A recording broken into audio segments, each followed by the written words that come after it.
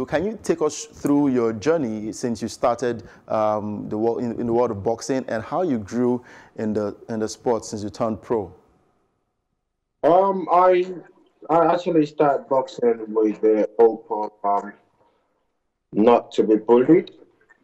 Um, back in Nigeria, uh, also I have too many boys as a sibling, so um, started as as I said, it's just like uh, something that I just wanted to do to actually defend myself, and I didn't know how good I was um, naturally with the with the boxing ability that I've got, and um, before I know it, I was the Lagos State um, Lagos State champion at the bantamweight, and then move on to represented Lagos in the national spe- first um, national sport festival in Imo '98. Won gold. Um, two years after, I went there. I went to um, Bauchi 2000 National Sport Festival again. Um, but that um, in 2000 um, Sport Festival, I was um, welterweight. I've moved up weight and also captured gold in that um, tournament. Uh, since then, it's been that's that's how the journey started. And um, yeah. Let's talk about family now. Did you get support from your family um, all the way? Because we know some parents back then they didn't support their kids who were interested in sports.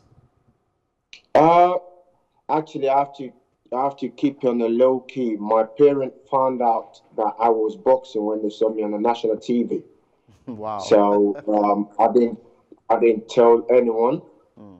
I always tell my mom I'm going to lesson, which um the after school club or something like that.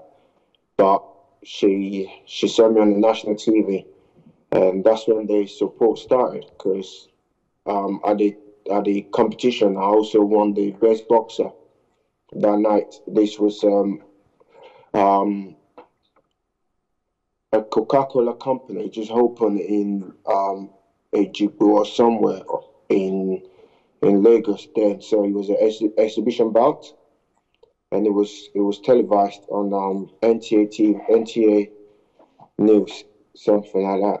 So yeah, and um, ever since my mom specifically kind of like she she was she was supportive she was supportive of it ever since. Now, when you got to the UK, uh, were you ever underrated by the trainers and the boxing gyms out there? Was that underrated? Yeah, were you underrated? Were you given a chance or were you no. looked down on? Not at all. I wasn't underrated at all. Um, you have to remember, I also represented Nigeria at the Commonwealth Games. Yeah. So um, I was well known within the gym. And boxing is you people can look at you until you jump in the ring. Even from doing shadow boxing people can tell if you're good or not.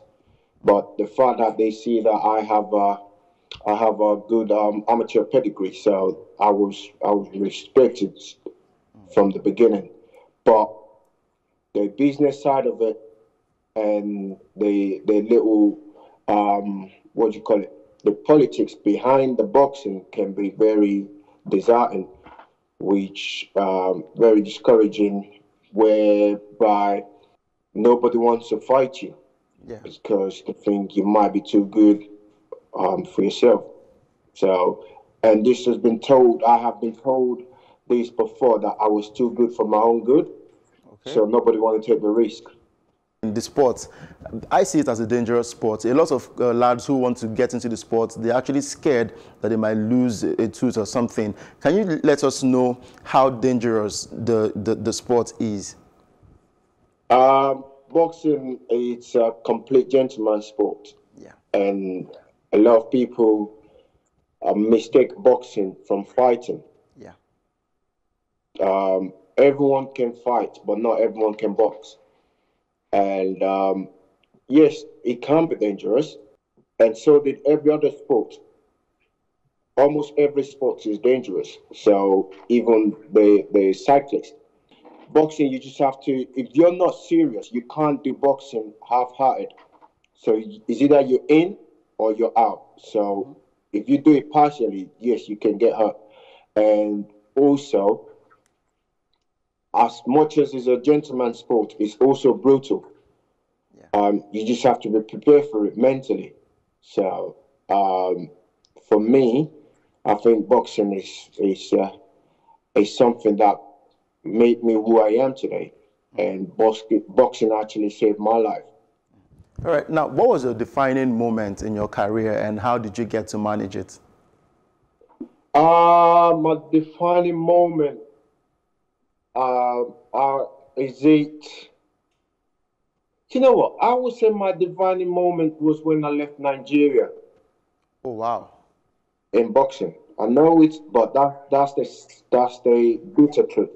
Hmm. Otherwise, I wouldn't have the opportunity to be able to actually showcase my my my talent around the world or for people to know who Larry Ekundayo is because we haven't been given that opportunity. Yeah.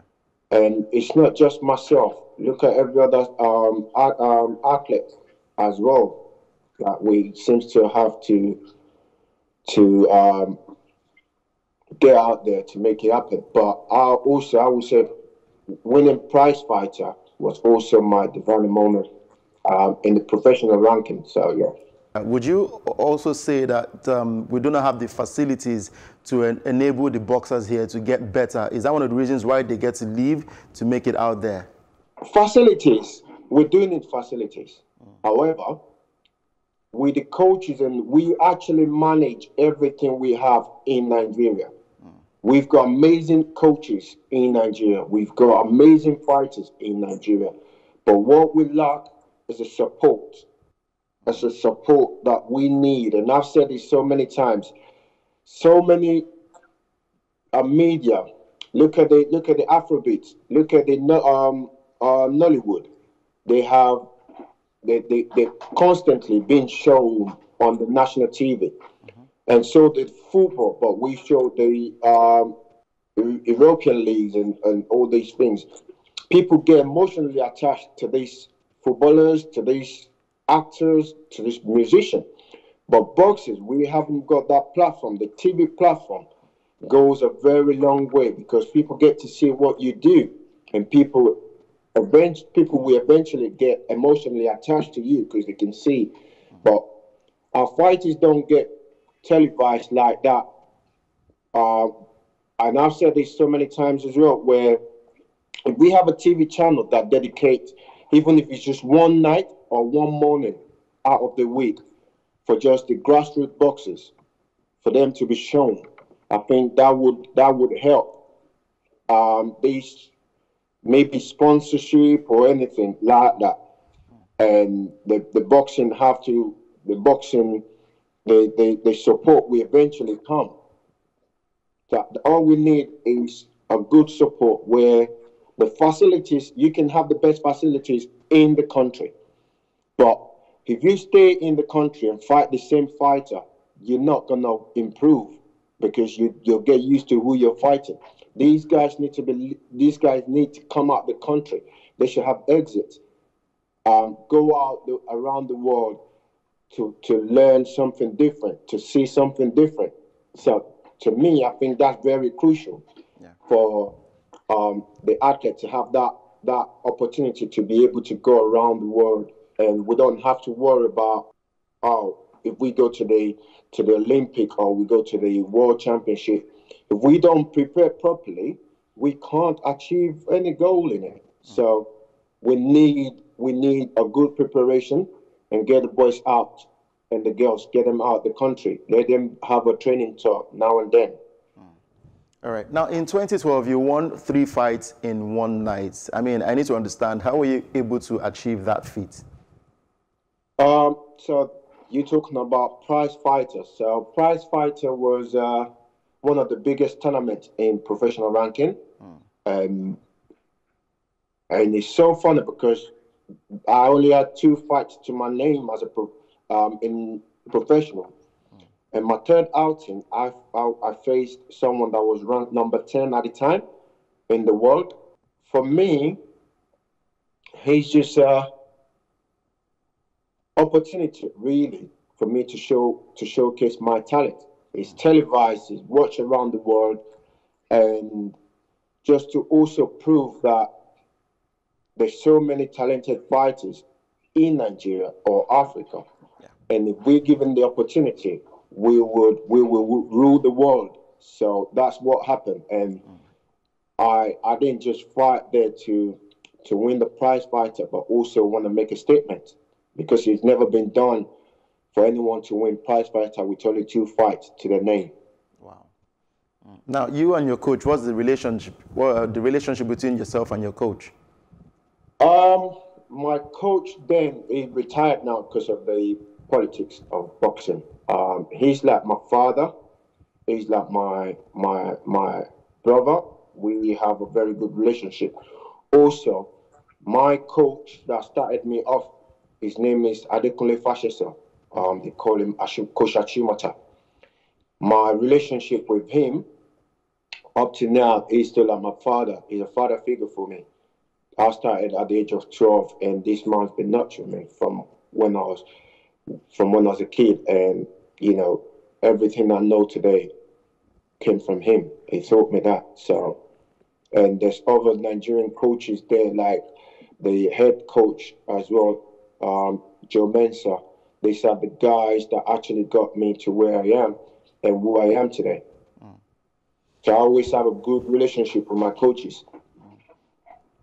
All right, let's talk about um, Efe Ajagba. This is another man everyone is looking up to for greatness. Do you think he has what it takes to be heavyweight champion in the future? 100%. 100%. He's one of the most fearful fighters now. Um, even though he hasn't fought for world title yet. But again, we need to support him. Yeah. We need to support him because having to fight, it's easy, but getting the support and prepare for the fight properly is the hardest part. And training camp costs money. True. And also, every little help goes a long way. And this is what I I want even the young ones to know it's not only financial support, but also we need to have like a um, like what you guys are doing. You don't know how far this goes. This is massive. This is to get the message across to the rest of the to the Nigerians and Africans people. So every little help can go a very long way. So we need to support him and every other fighters. Why do we have to leave the country before we become someone. Mm. So, but when when we become when we become someone, that's when everyone want to jump on the bandwagon.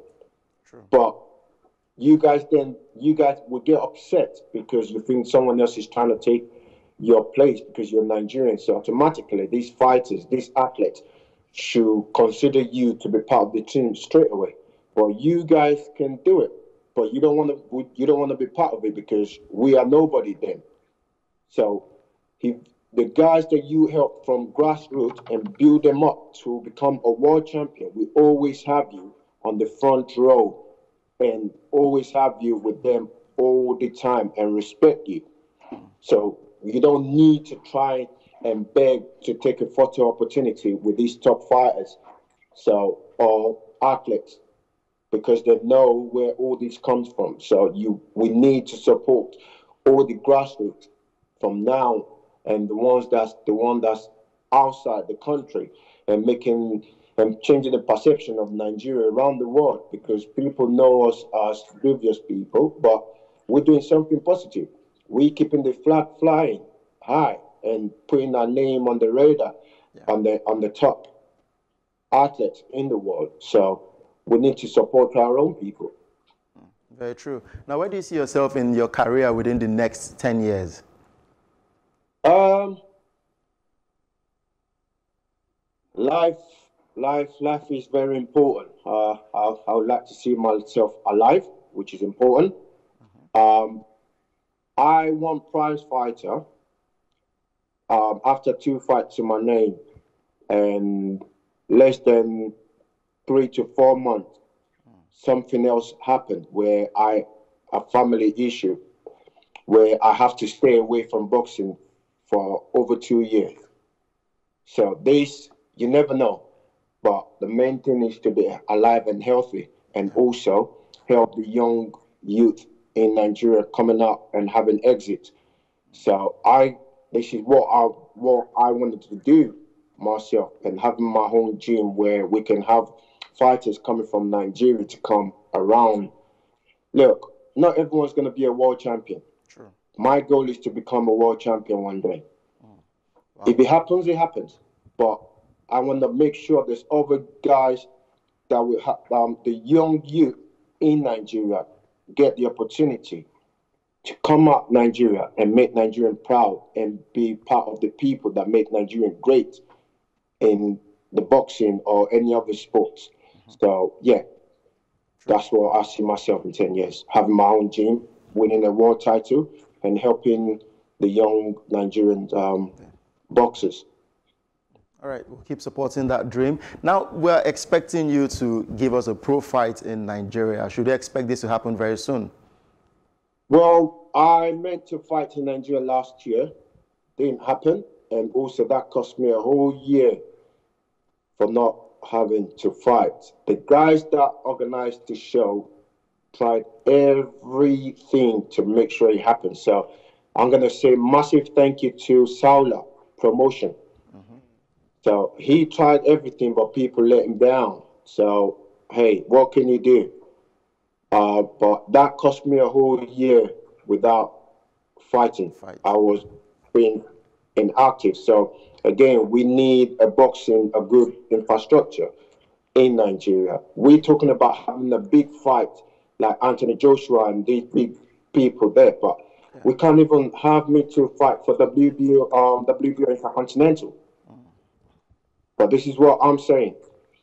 But we need to we need to start changing that mindset and just just support our own really.